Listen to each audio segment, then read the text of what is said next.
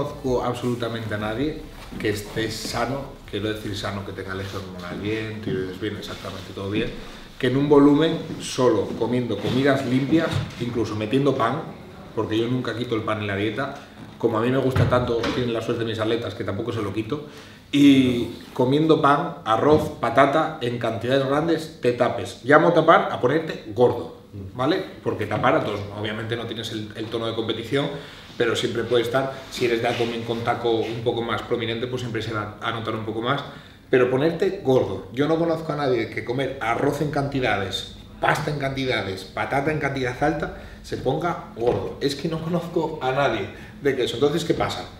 Cuando hay una fase de volumen y la gente viene cuando le sobran para competir, yo no veo una fase de volumen que para competir, si compites en 70 kilos, que peses 95 porque realmente esa pérdida de grasa al final vas a arrastrar masa, y todavía lo hablamos en la conferencia anterior, ¿te acuerdas? Siempre vas a arrastrar masa, siempre. Mm. Y sobre todo también estas competiciones que de repente a un mes estás normal, a un mes competición de, y al mes siguiente, o sea, en un mes de la competición de repente apretaste, secaste. Yo soy más de hacer las cosas un poco más naturalmente con tiempo un poco más naturalmente con tiempo que en el último mes usar todo lo que existe en el universo para apretarte. Porque ¿qué pasa con esas competiciones? Sales, arrasas y probablemente a la siguiente competición no vayas, porque estás demacrado. Entonces, son filosofías distintas de trabajo, en eso coincidimos totalmente de acuerdo, de llevar un régimen alimenticio variado durante todo el año para que no tengas ansiedad. Aparte hoy en día, tener ansiedad, si hay galletas que saben como las Oreo, sin azúcar, por ejemplo las Max Protein, hay un montón de cosas que si tienes, quieres tomarte un, un tentempié, yo, por ejemplo, entonces debo tener un estómago brutal porque las come a diario. Claro, bueno, claro, como todo. Claro, yo me como un paquete entero, de cuatro. Ahora, si me como 16, también si me como dos, dos boles de palomitas, también me reviento. Eso es como todo. Realmente la gente cuando a veces dice que algo le sienta mal, tiene que hacer el cómputo total de lo que está comiendo. Pero bueno, a lo que voy que hoy en día es muy fácil hacer una dieta. Si, tienes antojo de dulce, joder, tienes 20.000 recetas en internet de avena y, y, y, con dulce, con salado, con tal. Entonces, bueno, es muy fácil llevar un protocolo de dieta. A la última hora de llegar a la competición, realmente los protocolos van a ser siempre bastante parecidos en cuanto a, puntos de ir bajando hidratos, ir bajando grasas. Yo, por ejemplo, en las mujeres también coincido con él, nunca quito las grasas del todo, menos a bikini. Yo, por ejemplo, solo preparo, de preparar, solo preparo bikinis. Las otras categorías me gusta mucho verlas, me gusta mucho Goscana, como baila, todo esto yo guapísimo, pero bueno, no me gusta otras cosas que dan por medio. A mí me gustan las mujeres mujeres, siempre lo diré, me critiquen si quieren, pero no preparo realmente. Yo quiero una mujer que sea mujer, dos pies a la cabeza y que si me acuesto con ella de un beso que no me recuerde a Andica. Entonces, y creo que con eso comparte algo Arnold conmigo, o a lo mejor lo comparto yo con él que soy el pequeñito, porque realmente se las está cargando todas poco a poco las categorías y las está quitando del medio. Entonces, por algo será. Pues por lo tanto, yo a la última hora, por ejemplo, los protocolos de, de descargas, yo empiezo con lo que son cargas y descargas empiezo mucho antes ya de, la competición. ¿Por qué? Porque es una cosa que es evidente, igual que comentamos antes, que por ir secando poco a poco cargas y descargas, llegué al campeonato de la Copa de los, de, la Copa de los Campeones, esta de Sevilla, bueno, al campeonato ese nacional, llegué mucho más seco, entonces es evidente y llegamos a entender que cuanta más cargas y descargas y cuanto más eh, asimile, haga como pruebas de competición, más seco voy a llegar porque si eso nos pasa a todos, estamos más secos al final de temporada que al principio, quiere decir que esta etapa de cargas y descargas de las competiciones nos viene bien. Entonces yo siempre empiezo protocolos de empezar a hacer cargas y descargas y simular competiciones, pero simular competiciones hasta el tipo de no uso son mucho más light las cargas y mucho más limpias porque si estás a dos meses de competir en una carga no te va a lo mejor a poner miel o te va a poner frutos secos en plan de crema cacahuete por un tubo, pero sí que hago eh, con cargas altas de hidrato. que también ganamos? Paleamos la, la, la, ansiedad, sabes que a dos meses vista de competir, pues a lo mejor a los 15 días vas a estar cenando arroz, por ejemplo, con un plátano, y el plátano te lo puedes machacar, te puedes calentar un poco, está por encima y está buenísimo. Entonces, bueno, es una manera también de alimentar la, la mente y realmente también empieza a conocerte, porque hay mucha gente, lo que hablaba él, no todo el mundo le siente igual la carga, por ejemplo, yo la avena la tuve que quitar de la carga porque me dilataba muchísimo. Ya siendo men físico cuando era chiquitito, menos cantidades, a, mí siempre la avena me dilata un montón. Mm. Entonces, bueno, siempre empiezo a hacer pruebas. Voy a hablar siempre en, en, personal, voy a comentar mi experiencia con, con, mis cargas, ¿vale? Entonces, bueno, siempre trabajo de cargas y descargas durante un tiempo. ¿Qué hago? Eh, yo, por ejemplo, eh, tengo calculado en mí que en tres días estoy totalmente descargado. ¿Qué pasa? Me ha variado mucho el cuerpo. Yo ahora compito con unos 88, 89 kilos y antes competía con 78.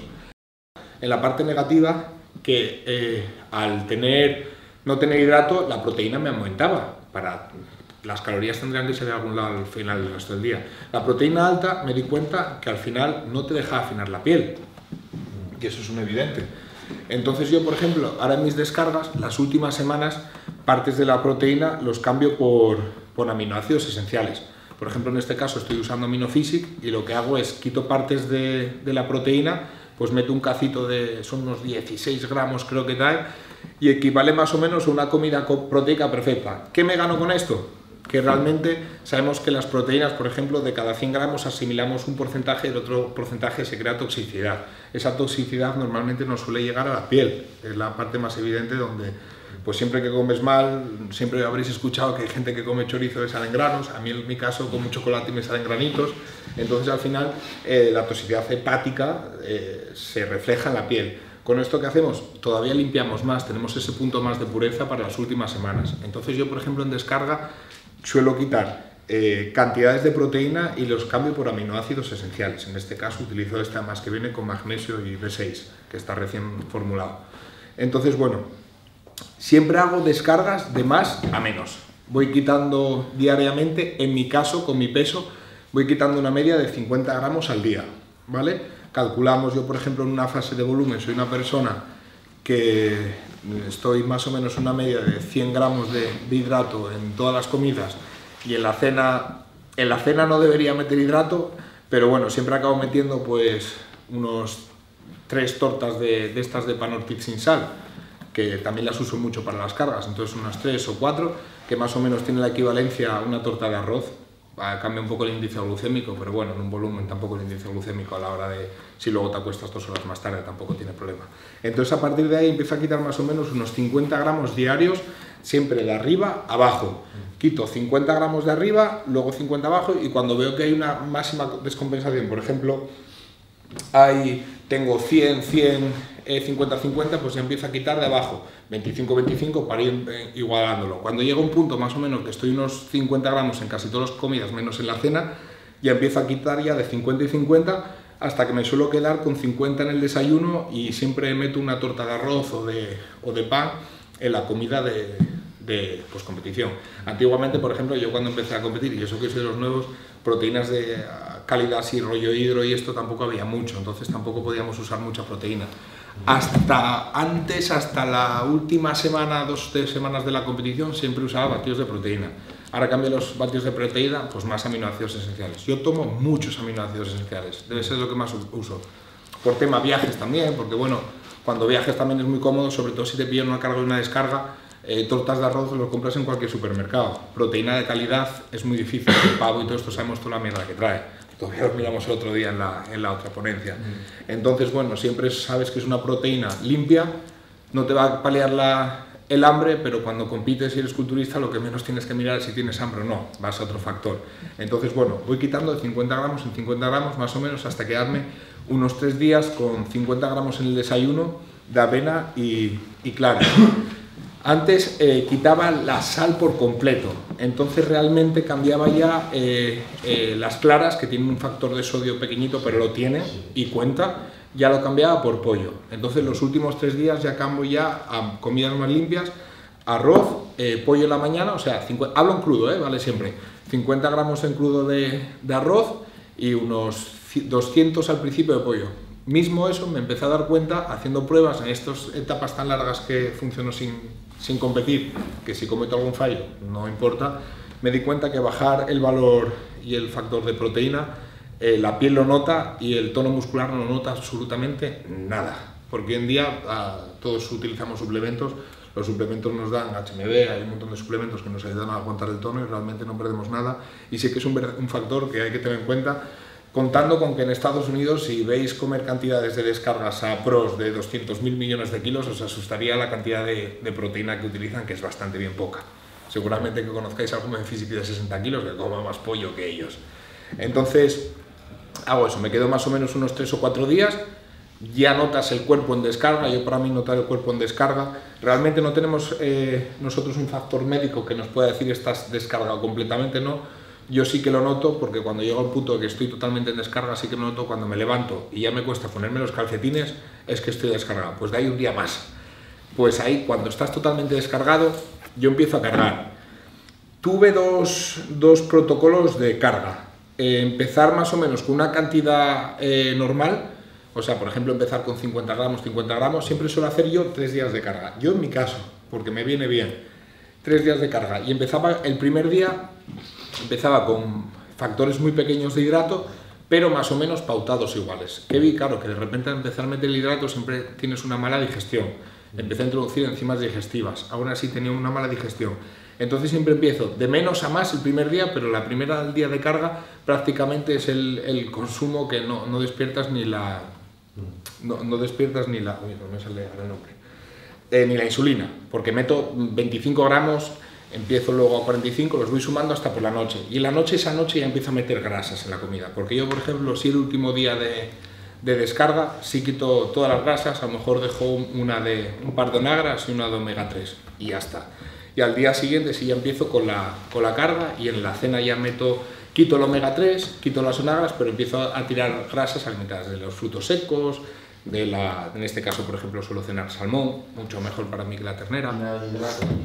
Sí, eh, empiezo. el primer día de carga empiezo 25, 35, voy subiendo de 10 a 10 hasta la cena y más o menos en la cena siempre empiezo, le meto un una peñizquita de sodio en el alimento, meto tomate, le quito el hidrato y al día siguiente empiezo realmente como la carga ya más o menos real. Pues ya por la mañana ya empiezo directo con 50 gramos de avena o de, en este caso avena no, bueno, porque la quité de, de arroz y luego sigo subiendo hasta que por la noche, esa noche sí que tomo ya hidrato. Ya de por ahí de eso voy de 50 a 75 y ya empiezo, hago 5 comidas más de 100 gramos. Y la última comida siempre la suelo hacer de patata cocida porque para mí es mucho más digestiva que el arroz. Yo, por ejemplo, la digiero mejor eh, en mi condición. Por ejemplo, hay otra gente que no, que no la digiere bien ni más ni menos, pero yo, por ejemplo, para mí es... porque no la terminan de hacer. También, yo le quito la piel, la dejo muy, muy hecha, o sea, la dejo muy blandita y a mí me sienta su... minutos al microondas, no, no la digiero bien, no, claro. la has hecho bien.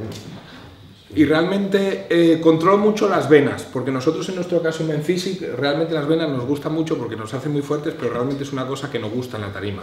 Porque una vena... Voy a matizar eso. No es que no guste, es que penaliza.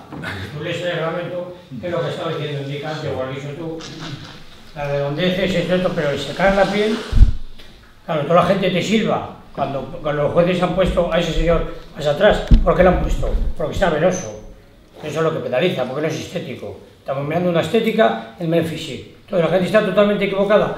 La gente cuando va a ver un evento lo que tiene que leer es la normativa de cómo se puntúa.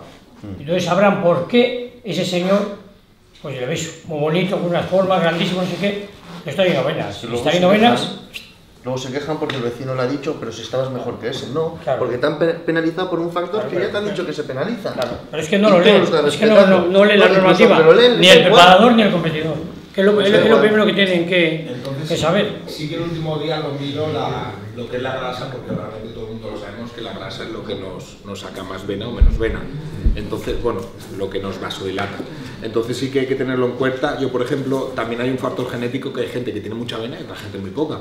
Por ejemplo, en este caso con, con él, los, en la competición de la semana, de la semana anterior, eh, quedé con él por la mañana y le había puesto crema de cacahuete entre paréntesis. Según se levantó, vi cómo estaba abdomen, vi que tenía, estaba seco y tenía las míticas venas de por aquel abdomen.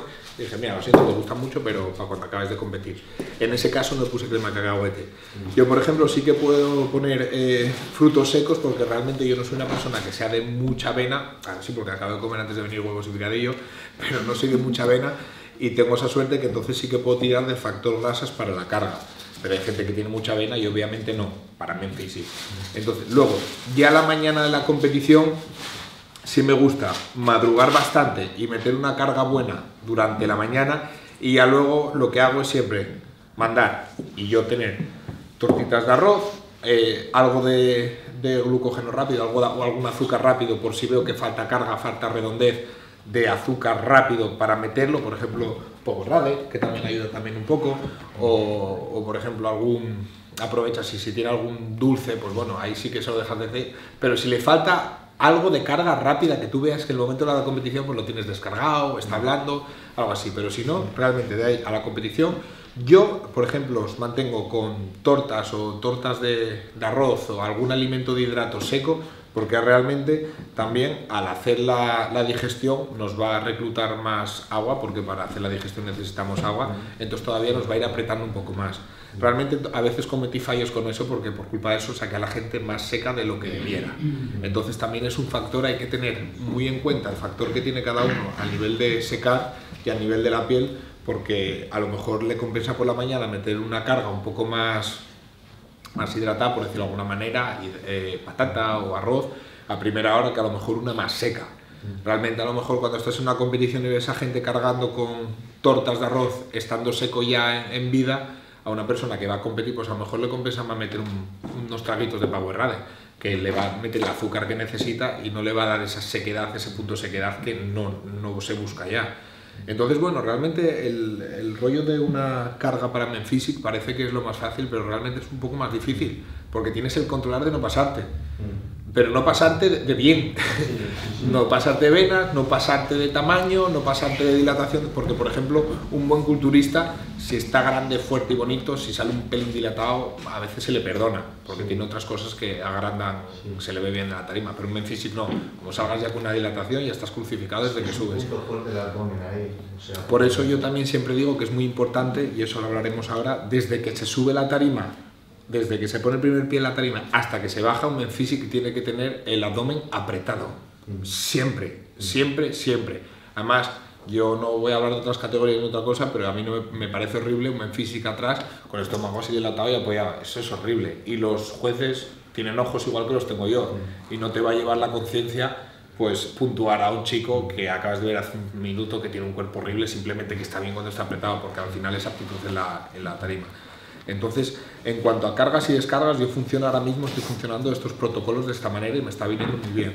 A nivel de, de diuresis, me gusta mucho la diuresis osmótica, que es a base de agua, y funciono por la ley que hay siempre de un, bueno, la ley más típica que es por cada 10 kilos un litro. Por cada 10 kilos un litro, a depende del peso del atleta, quedarme unos 3, unos 2, y luego más o menos eh, les dejo con una media pues de 750, 500, 750 los dos últimos días de la, antes de la competición. ¿Y la descarga va subiendo agua cada día o mantienes... No, yo soy de los que la bajan. ¿Vas bajando en la descarga también? Exacto. Por ejemplo, tú eres de la que lo sube, a veces. ¿El, el agua dices? El agua, sí. Yo lo subo hasta el último día. Exacto. Por ejemplo, Sí. Cada día un poco, un litro. ¿Hasta el último día de la competición? Y yo, por ejemplo, soy. Y él la saca seca, por eso siempre. Yo corto 12 horas, 12 horas antes. Bueno, hablaré yo de. Sí, ahora, ahora cuenta. Mira, yo, por ejemplo, voy de arriba abajo, empiezo más o menos unos 8 días antes. Eh, por ejemplo, si pesas unos 8 kilos, pues empiezo por. 80 kilos, perdón, empiezo por 8 litros, 8 litros, 8 litros, y así voy bajando, te hago la escalona para que los dos días antes de la. El día, dos días antes de la competición quedes más o menos entre medio litro, un litro, y el día de la competición Depende también, si vas totalmente natural, utilizo mucho Coca-Cola. ¿Por qué? Porque el carbonato de los componentes de la Coca-Cola eh, ayudan a la deshidratación. Por eso siempre dicen, no, haz Coca-Cola tal porque lo que Coca-Cola no hidrata, deshidrata. Bueno, o con azúcar, porque también si le hace una falta de carga, al final es, es carga igual, depende cómo vaya el atleta. Yo he tenido atletas muy chiquititos que las cargan con Coca-Cola normal. ¿Y cuántos días antes empiezas a meterle ese, el litro por 10 kilos? Pues más o menos empiezo de media como vaya, ya tengo que calcular también el tono, como, porque hay gente que llega que prácticamente lo ves y está para subir a la tarima, entonces también tienes que calcularlo, pero bueno, ponte de media entre unos 8 y unos 10 días. 8 unos 10 días empiezo para que no sea muy agresiva y vaya poquito a poco.